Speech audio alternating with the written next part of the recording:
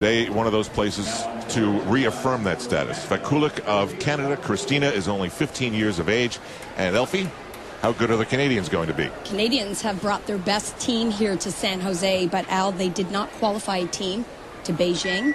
They've only qualified two athletes. She's one of those athletes vying for a spot.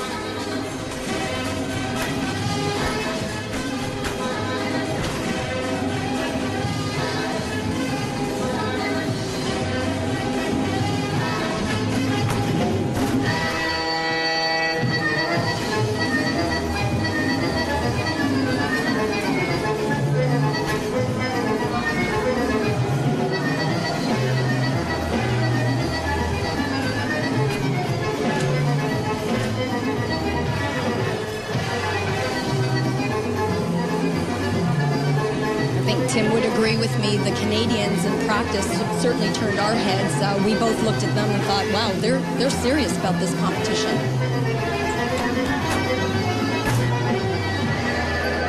Obviously, a huge disappointment for them not qualifying as a team to Beijing, but they do have some very talented athletes coming up.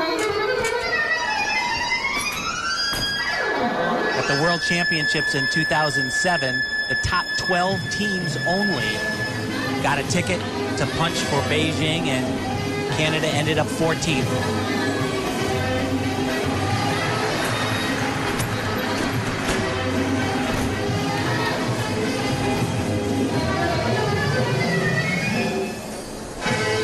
Kristina had a chance to compete at the test event late last year. She told her coach, 1980 Olympic champion Elena Davidova, I want